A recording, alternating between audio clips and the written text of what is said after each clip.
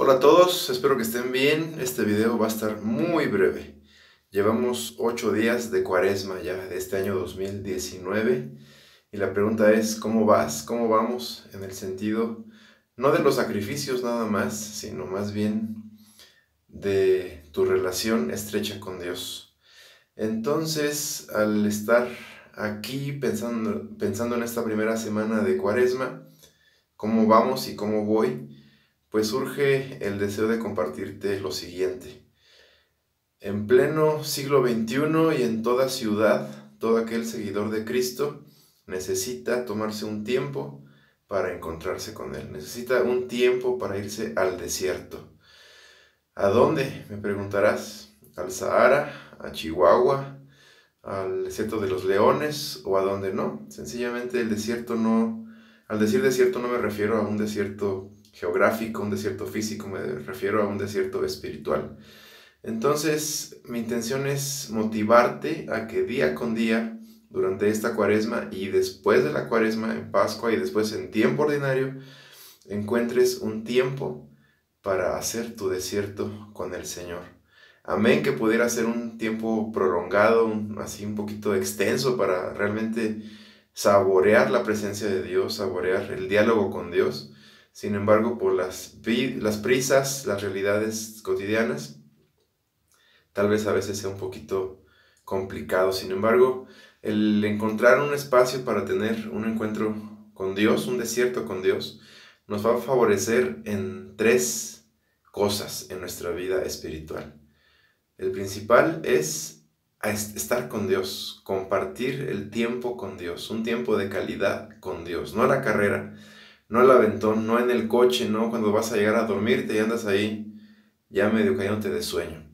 Un tiempo de calidad, así como el que le dedicas a tu esposa, a tus hijos, a tus seres queridos, a tu hobby, un tiempo de calidad con Dios. El segundo elemento que nos favorece bastante al tener un desierto día con día, un desierto para Dios y con Dios, es el conocer un poquito más su palabra. Y al conocerla, bueno, en consecuencia será ponerla en práctica, entenderla, meditarla y poco a poco nuestra vida se irá iluminando para ser precisamente luz en medio de tanta oscuridad. Y el otro eh, elemento que es un beneficio para nuestra vida, pues es sencillamente el conocernos a nosotros mismos. A veces pensamos que nos conocemos lo suficiente, pero realmente no. Y más cuando estamos en un tiempo espiritual fuerte como es la cuaresma, brotan en nosotros emociones, reacciones, actitudes que no pensábamos que tendríamos o que creíamos que ya las habíamos dominado. Entonces, estos tres elementos que el desierto nos proporciona son de gran utilidad, son de gran necesidad para nuestra vida. Número uno, estar con Dios. Número dos, conocer y vivir su palabra. Número tres, conocernos a nosotros mismos en el orden que tú quieras. Puedes invertir el orden cuantas veces tú quieras, pero que tenga esos tres.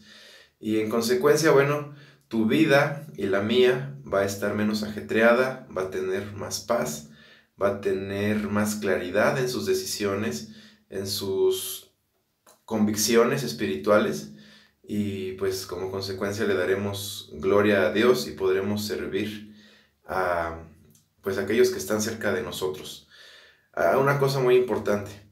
El retirarnos a hacer un desierto con Dios no es simplemente alejarnos, encerrarnos y estar pensando en Dios, en Dios. Es más que eso. Empieza a lo mejor con un pensamiento en Dios, pero los pensamientos van y vienen, los pensamientos pueden ser muy piadosos, pero no se pueden tocar y a veces ni siquiera pueden aterrizarse. Pero cuando el pensamiento se convierte en oración, en adoración, ahí empezamos realmente a tener el desierto. ¿Dónde puede ser el desierto? Bueno, pues puede ser visitando al Señor en el sagrario o en el Santísimo Expuesto. Puede ser en un lugar apartado de tu casa donde no haya ruido ni distracciones. Puede ser en tu propia casa, ya te lo he comentado en otros videos. Produce tú, genera un espacio ahí, un rinconcito en el cual estés tú con Él, estés con, ante Él, donde te reportes con Él en el que esté tu Biblia, tu liturgia, en el que esté una libreta de apuntes, una vela, tal vez una imagen que te inspire así como recogimiento y verás, verás los resultados, de verdad. Es algo que A veces pensamos que no es para nosotros los laicos, sin embargo, estamos sedientos de ese tiempo tan bonito que es estar con Dios. Así que no te confundas, no confundí mi vocación ni quiero confundir la tuya.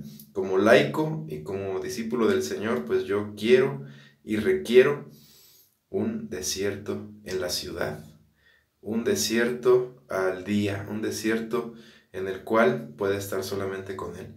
Implica madrugar un poquito más o puede incluso significar desvelarte un poquito más, siempre y cuando haya silencio, haya recogimiento, ya no haya distracciones, ruidos ni pendientes.